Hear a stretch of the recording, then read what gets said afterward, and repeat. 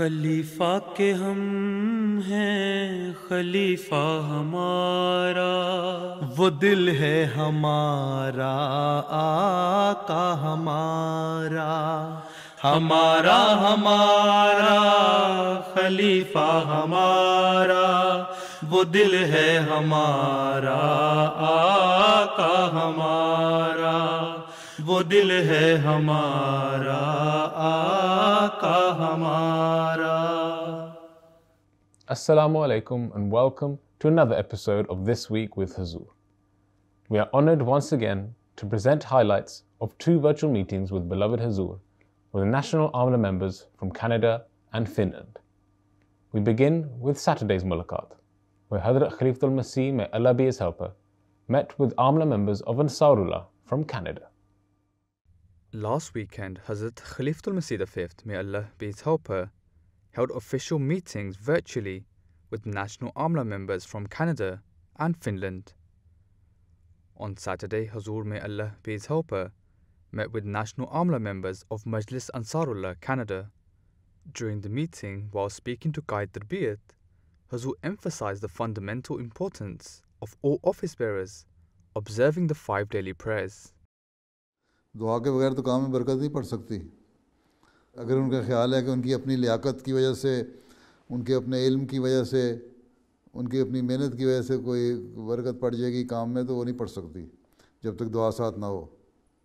इसलिए ये चीज़ें उनको जहनों में डालें अच्छी तरह। जी हजूर बाकी रेगुलर हम मीटिंग्स वगैरह हम करते हैं मुजमिन के साथ भी रीजनल लाजमिन के साथ भी उनको तो मीटिंग शीटिंग का कोई फ़ायदा नहीं जब तक नतीजा सामने नहीं आता। सौ फ़ीसद नमाज़ नमाज़ तो सौ फ़ीसद होनी चाहिए। एक एक आम आदमी के मुसलमान के लिए सौ फ़ीसद नमाज़ पढ़ने वाला होना चाहिए या ये कि आमला के मेम्बरान कहते हैं जी हमने इतने परसेंट पढ़ी तो बड़ा अच्छा रिज़ल्ट हो गया ये तो कोई अच्छा रिज़ल्ट नहीं है एक दफ़ा यहाँ आए थे जब आप लोग इज्तम हो रहा था यहाँ यूके का उस वक्त मैंने उस इज्तम पे जो आखिरी मेरा ख़ताब था मेरा ख्याल है उस वक्त भी ये तोजो दिलाई थी आप लोगों को भी नमाज़ों की तरफ़ तोजो दें याद है जी हजूर 2015 में जी याद है उस तकरीर को दोबारा सुन लें जी बेहतर और दुआ की भी दरख्वास्त है हजूर कि अब आगे क्योंकि हालात कुछ बेहतर हो रहे हैं। कोविड के लोगों को कैसे वापस मस्जिद में भी लाना है देखें दुआ भी करें। अच्छा अल्लाह फजल करे। आगे कौन है? अस्सलाम हजूर। बास दोस्तों को जब बास दोस्तों को जब कोई ज़िम्मेदारी देने की कोशिश करते हैं तो वो माजत करने की से माजत कर लेते हैं। आप ज़िम्मेदारी देने की कोशिश करते हैं वो माजत करने की कोशिश करते हैं हैं? अब ये यही तो चैलेंज है आपके लिए। कि किसकी कोशिश कामयाब होती है हुँ? बात यह है कि पहले देखा करें ना, इंसान को ज़िम्मेदारी उठाने वाला है भी कि नहीं? कहते तो रजाल तो कोई नहीं पड़ा हुआ वहाँ, लोगों की कमी तो कोई नहीं है।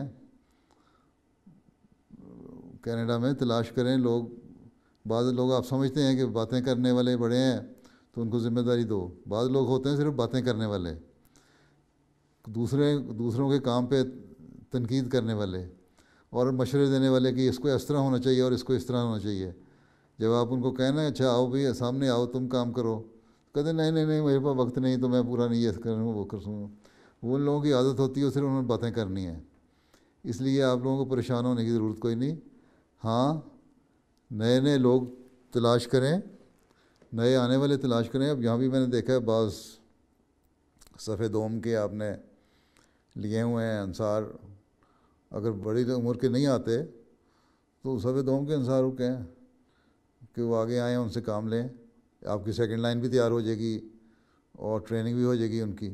इसी तरह आपने एडिशनल लगाए हुए हैं जो उनके साथ नायबीन भी लगाए जा सकते हैं बहुत सारे तो इस तरह भी तरबियत हो जाएगी। तो आइंदा आपको मिल जाएँगे लोग काम करने वाले। तो ज़बरदस्ती तो आप किसी को उससे काम नहीं ले सकते। और क्या मैार क्या है आपका? क्यों आप देने की कोशिश करते हैं उनको ज़बरदस्ती? जिसकी जिसकी ख्वाहिश ही नहीं कि दीन की खिदमत करे, उसे ज़बरदस्ती आप खिदमत नहीं ले सकते। इसलिए ऐसे लोग तलाश करें जो वाकई दीन की खिदमत का जज्बा रखने वाले हों, सिर्फ़ बातें करने वाले ना हों। हैं? आप लोग बातों से मुतासर हो जाते हैं, बातों से मुतासर ना हुआ करें लोगों की। उनकी अच्छी तरह गहराई में जाके पहले गौर से मुताल किया करें हर शख्स का। और फिर देखें कि हाँ इससे किस किस्म का काम लिया जा सकता है। और फिर काम लेने की कोशिश करें। ठीक है जी जी हजूर जजाकल्ला प्यारे हुजूर एक एक चैलेंज सोर्ट ऑफ़ है कि जो खुदामदिया से सफ़े दो में जो नए इंसार आते हैं उनकी तरफ़ से काफ़ी पुश होती है कि हमें स्पोर्ट्स टीम में जैसे कि खुदामदिया वो खेलते आ रहे हैं।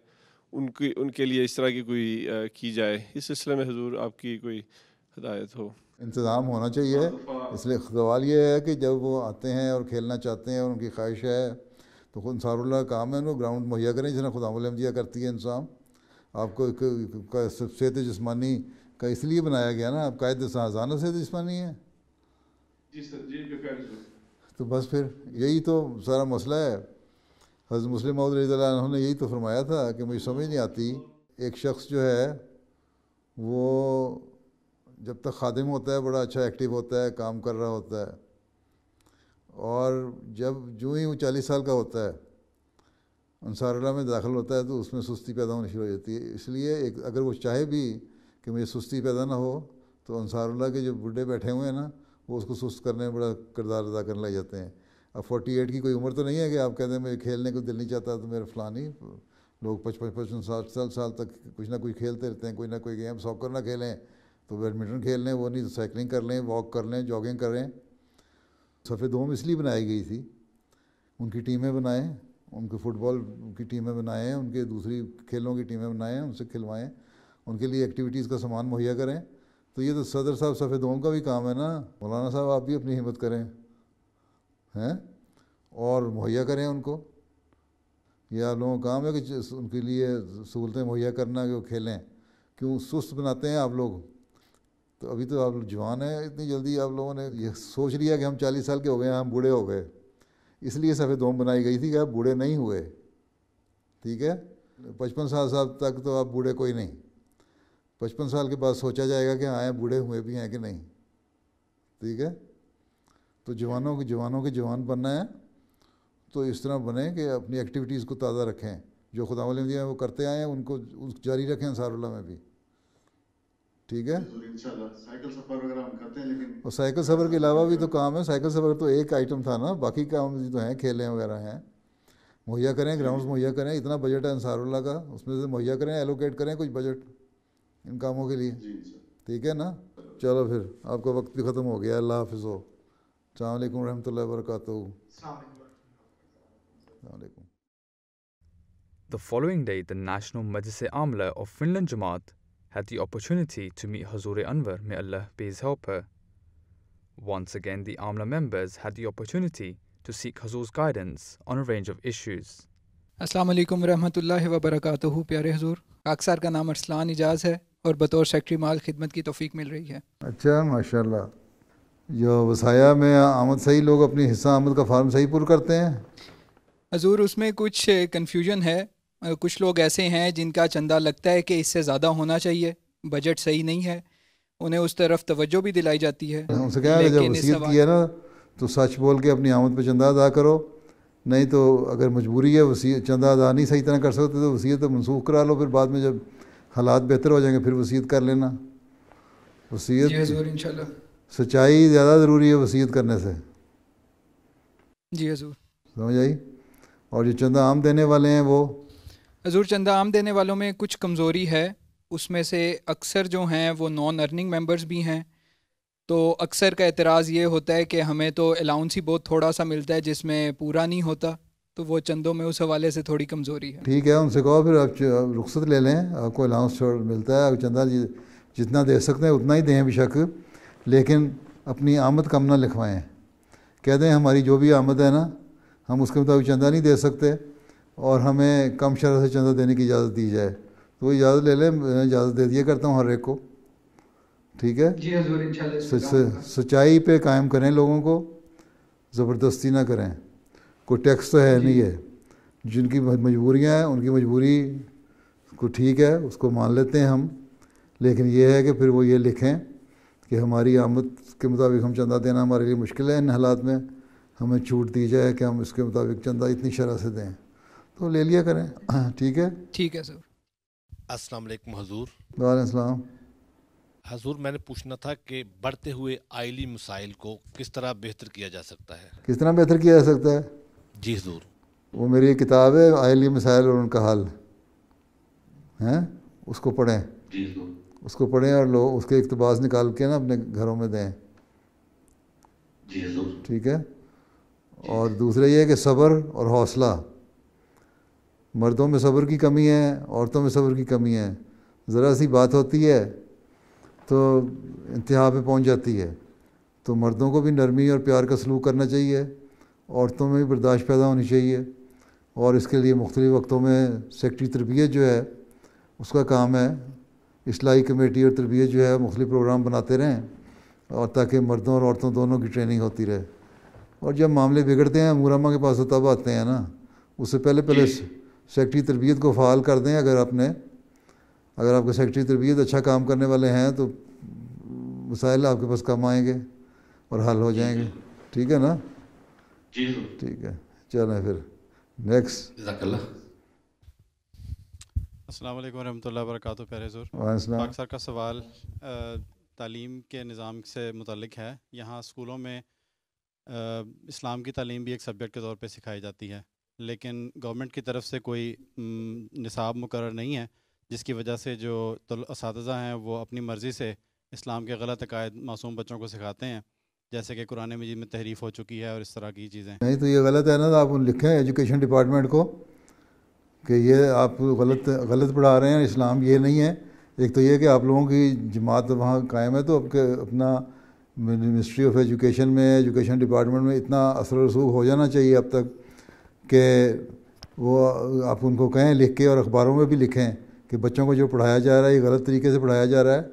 और असल इस्लाम की तारीफ़ तो ये है और ये साबित शुदा है कि कुरान करीम जो है इंटैक्ट है अपनी असली हालत में। और इसको, इस, बहुत सारे अब तो इनके अपने लोगों की गवाहियाँ पेश हैं। बर्मिंगम बर्मिंगम में भी इनके यहाँ हुआ था एक एग्जीबिशन वहाँ उन्होंने साबित किया, दिखाया और जगहों पे आर्टिकल भी आ चुके हैं, गैरों के भी आ चुके हैं और साबित कर सकते हैं। और ये कुरान करीम का अपना दावा भी है। तो इसके लिए आप लोगों को कोशिश करनी चाहिए। अगर कर, करते हैं तो क्यों करते हैं? अब जर्मनी में उन्होंने कोशिश की है तो वहाँ उन्होंने फिर कहा अच्छा भी स्कूलों में पढ़ाने के लिए हमने सिलेबस बनाना बताओ। मुख्तलिफ़ फ़िरक़ों ने अपने अपने सिलेबस भेजे।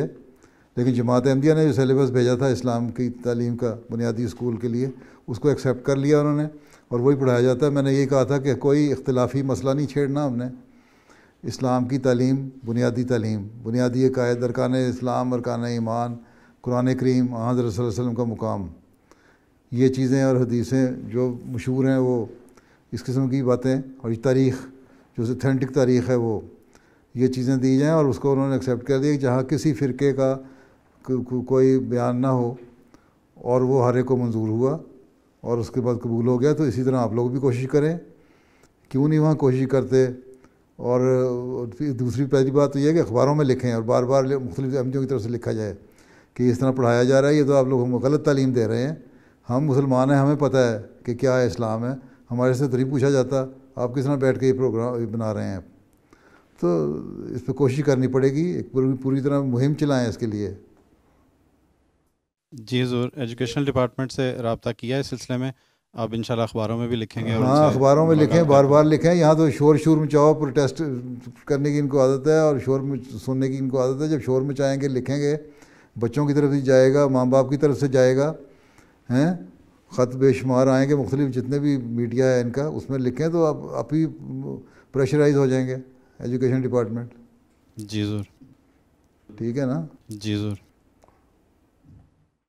हुजूर तबलीगी हवाले से एक सवाल था कि जब मुख्तलिफ़ प्रोग्राम्स के ज़रिए जब तबलीगी रबते बनते हैं तो लोगों की तबीयत में कम गोई की वजह से वो रबते कायम रखने में मुश्किल होती है। तो इससे मतलब हजूर की क्या रहनुमाई है? किस तरह रबते कायम रखे जाएँ? कौन कम गो है? सुनने वाला या बोलने वाला? हजूर जो फिनिश अवाम है इनकी तबीयत में काफ़ी शाइनस है जल्दी ये ओपन नहीं करते अपने आप को ठीक है तो फिर ज़ाती रबते बनाए ना दोस्तियाँ बनाएँ ताल्लुक़ रखें हैं? अपने हमसायों से ताल्लुक़ रखें हमसायों को पता लगे मुख्तलिफ़ सेमिनार करें उसमें आप इनको बुलाएँ छोटे मोटे पैमाने पे सेमिनार करें दावत महीने में दो महीने में तीन महीने में एक सेमिनार हो जाए इंटरफेथ प्रोग्राम हो जाए कोई इस तरह की चीज़ हो जाए उसमें बुलाएँ और वहाँ ये सुने आपकी बातें। जब सुनेंगे तो ख़ुद ही सवाल करेंगे। आहिस्ता आहिस्ता इंट्रोडक्शन होगी, फिर अखबारों में लिखें। ख़त लिखें, इस्लाम क्या चीज़ है, इस्लाम की तलीम क्या चीज़ है, अमन क्या चीज़ है, अमन दुनिया में किस तरह कायम हो सकता है, इस्लाम का क्या नज़रिया अमन के बारे में, हैं? और मौजूदा फिर कंटेम्प्रेरी इश्यूज़ जो हैं, इनके ऊपर असल राय क्या होनी चाहिए? एक मुसलमान की हैसियत से हमारी क्या राय है? हैं? वो लिखें तो फिर उनको तोजो पैदा होगी हाँ ये लोग सिर्फ़ पुरानी बातें नहीं करते। दकियानूसी सिर्फ़ मज़हब मज़हब की बात करके हमें नहीं डाले बल्कि ये कंटेम्प्रेरी इश्यूज़ के ऊपर भी बात करके हमें गाइड कर सकते हैं। फिर वो ऐसा ऐसा खुलेंगे तो वाकफियत पैदा हो जाएगी इन जो जो फिनिश भी लोग जो हैं, जिनके साथ भी दोस्तियाँ हैं, आपके साथ अगर किसी की ज़ाती दोस्ती है, मैं जानता हूँ बातों को जिनकी ज़ाती दोस्तियाँ उनके साथ तो बड़े खुल के बातें करते हैं वो। तो वो तो ज़ाती ताल्लुक़ बनाने की बात भी है ना। लेकिन ज़ाती ताल्लुक़ बनाने के अलावा एक ओवरऑल पिक्चर आपको देनी पड़ेगी इस्लाम के बारे में और वो सोशल मीडिया और अखबार और मुख्तलिफ़ तरीक़ों से देने की कोशिश करनी चाहिए फिर गैदरिंग सेमिनार इस तरह की बातें करें। ठीक है ना? जी हुजूर जी हुजूर। ठीक और? प्यारे हजूर, लोगों में हज़रत मसीह मऊदलाम की कुतब पढ़ने का शौक़ कैसे पैदा किया जाए? कैसे पैदा किया जाए? छोटे छोटे इकतबास बना के, उनको टाइप करके प्रिंट निकाल के लोगों को दें, मुख्तलिफ़ टॉपिक्स के ऊपर। एक किताब किताब को पढ़ने को, लगातार पढ़ना लोगों के लिए, जिनको पढ़ने का शौक़ ही नहीं, उनको पढ़ना मुश्किल है। तो वो इकतबासात अब जे देंगे तो कुछ ना कुछ ना कुछ उस टॉपिक के ऊपर तोजो पैदा होगी। इंग्लिश में, उर्दू में टाइप करके तो घरों को दिया करें। कुछ नहीं तो किताबें, कुछ नहीं तो कम इकतबासात ही पढ़ना शुरू कर देंगे।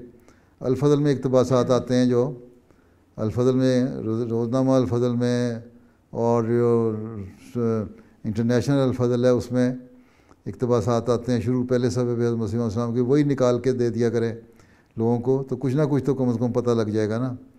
बाकी आजकल रुझान ही नहीं पढ़ने का, आजकल तो रुझान ही है कि सोशल मीडिया पे देख लो, सुन लो। तीस मिनट, तीस सेकंड के अंदर अंदर जो बात कान में पड़ जाए वो देख लो, हैं? या टीवी पे बैठ के प्रोग्राम देख लो, हैं? उसकी तरफ़ रुझान ज़्यादा हो गया है। या फिर ऑडियो बुक्स बनाएँ। वो दें बना के दें ताकि ट्रैवल करते हुए, टैक्सी चलाते हुए, इधर उधर जाते हुए कानों पर लगा लें वो सुन लें। वो भी दिलचस्पी का समान हो जाता है। पढ़ने का रिवाज वैसे ही कम हो गया, अमूमन। इसलिए एक तो छोटे छोटे एक तो वसात लें मुख्तलिफ़ टॉपिक्स पे। आजकल के जो टॉपिक्स हैं कंटेम्प्रेरी नमाज़ों की ज़रूरत, खुदा की बदानियत हैं? अल्लाह ताला की वजूद की है कि नहीं है एग्जिस्टेंस ऑफ़ अल्लाह उसकी ज़रूरत। और ये सब बहुत सारे टॉपिक्स ऐसे हैं। तो इनके ऊपर इकतबास निकाल के वो प्रिंट करके लोगों को भेजें, फिर ऑडियो बना के भेजें। तो इस तरह लोगों को कम से कम कुछ ना कुछ तो आवाज़ कान में पड़ेगी ना किताबें पढ़ने का रिवाज नहीं रहा। किताबें सुनने का रिवाज है किताबें ऑडियो बुक्स बना दें। इसलिए अल इस्लाम ने भी बहुत सारी ऑडियो बुक्स बनाई हुई हैं उनको भी देखें डाउनलोड करके सुन सकते हैं या रिकॉर्ड करके लोगों को दे सकते हैं। ठीक है ना? ठीक। Another AMLA member asked, What is the way to respond to those social and moral practices prevalent in the West that are contrary to the teachings of Islam? आप लोगों को बयान करने से पहले अपने घरों को में बयान करें। ठीक है? पहले तो बच्चों के साथ इतनी दोस्ती रखें कि बच्चे जब स्कूल से आएँ तो वो बताएँ कि आज हमें स्कूल में इस बारे में हमें क्या पढ़ाया। और फिर आप उसको बताएँ कि तुम्हारी उम्र क्या है? और बाज़ बातें जो तुम्हें अब बताई जा रही हैं, तुम्हें तो उसका शूर भी नहीं है, तुम्हें समझ भी नहीं आ सकती कि क्या चीज़ है और क्या नहीं है चीज़। जब तुम बालक हो गए, तुम्हें समझ आएँगी। फिर तुम दोबारा सवाल पूछना, फिर तुम्हें समझाया जाएगा। तो इस तरह फिर, और फिर जो सवाल तुम्हारे जहन में उठें, उनके जवाब भी तुम्हें मिल जाएँगे। फिर मज़हब इसके बारे में क्या कहता है? उनके लेवल पर रख के बच्चों के, पाँच साल के बच्चा, आठ साल का बच्चा, दस साल का बच्चा, बारह साल का बच्चा, पंद्रह साल का बच्चा, हैं? और उनसे बेतकल्लफ होकर फिर उनको बातें करनी पड़ेंगी। नहीं तो दूसरों की असलाह करते करते अब अपने बच्चों को ज़ाया ना कर दें। असल फ़िक्र ये करनी चाहिए। ठीक है? चलो फिर। जी नेक्स्ट। बाज़ दफ़ा अफराद कुरान करीम सही तलफ़ से ना पढ़ने का उज़र ये बयान करते हैं कि अरबी हमारी मादरी ज़ुबान नहीं तो उनको इस तरफ़ कैसे तवज्जो दिलाई जा सकती है? उनसे कहो बिल्कुल ठीक कहते हैं आप आपकी मादरी ज़ुबान नहीं है इसलिए हम आपको क्लासें शुरू करवा देते हैं ताकि आपको तलफ़ ठीक हो जाए। देखो एक एक चीज़ है गले से आवाज़ें निकालना काफ दुआ दाल दे करने को हाफजों की तरह वो नहीं पढ़ सकता कोई मैं भी नहीं पढ़ सकता। सिर्फ़ ये है कि सही तलफ़ ज़बर ज़ेर पेश मद शद जो है ना उसकी अदायगी सही होनी चाहिए। ठीक है? तो, तो यहाँ किरात का सवाल नहीं है तो तरतील और तजवीज़ सिखाने का सवाल है। वो आपने सिखानी है। वो सिखाएँ। ठीक है ना? चलो फिर अल्लाह हाफिज़ हो अल्लाम रहमतुल्लाहि वरकatuh अस्सलाम वालेकुम रहमतुल्लाहि वबरकातुहू प्यारे वालेकुम अस्सलाम Those were highlights from two virtual mulaqats that took place last weekend. We now end with our final segment, the Friday Sermon Summary. In today's Friday sermon, Hazur Anwar Ayatollah Talib Nasir al-Aziz continued his series of sermons on the companions of the Holy Prophet wasallam. Whilst narrating from the writings of Hazrat Muslim Maud anhu, Hazur related an incident which illustrated how the status of Hazrat Umar anhu was elevated both spiritually and in the worldly sense after following the Holy Prophet sallallahu alaihi wasallam. Muslim फरमाते हैं क्या ये तजुब की बात नहीं कि ऊँटों को चराने वाला एक शख्स अजीम शान बादशाह बन गया? और सिर्फ़ दुनियावी बादशाह नहीं बना, बल्कि रूहानी भी। ये हज़रत उमर थे जो इब्तदाई उम्र में ऊँट चराया करते थे। एक दफ़ा आप हज को गए तो रास्ते में एक मुकाम पर खड़े हो गए। धूप बहुत सख्त थी, जिससे लोगों को बहुत तकलीफ़ हुई। लेकिन कोई ये कहने की ज़रूरत न करता कि आप यहाँ क्यों खड़े हैं? आखिर एक साहबी को जो उम्र के बड़े दोस्त थे और जिनसे आप फितने के मतलब पूछा करते थे, लोगों ने कहा कि आप इनसे पूछें। हज़रत उमर से पूछें कि यहाँ क्यों खड़े हैं? उन्होंने हज़रत उमर से अर्ज़ किया कि आगे चलिए, यहाँ क्यों खड़े हो गए हैं? हज़रत उमर ने फरमाया कि मैं यहाँ इसलिए खड़ा हुआ हूँ कि एक दफ़ा मैं ऊँट चलाने की वजह से थक कर इस दरख्त के नीचे लेट गया था। मेरा बाप आया और उसने मुझे मारा कि क्या तुझे इसलिए भेजा था कि वहाँ जाकर सो सो रहना? तो एक वक्त में मेरी ये हालत थी। लेकिन मैंने रसूल करीम सल्लल्लाहु अलैहि वसल्लम को कबूल किया। तो खुदा ताला ने मुझे ये दर्जा दिया कि आज अगर लाखों आदमियों को कहूँ तो मेरी जगह जान देने के लिए तैयार है। इस वाक़ से और नीज इस किस्म के और बहुत से वाक़ात से मालूम होता है कि सहाबा किस हालत में थे। और रसूल करीम अलैहि वसल्लम की इतबा से उनकी क्या हालत हो गई? और उन्होंने वो दर्जा और इल्म पाया जो किसी को हासिल न था।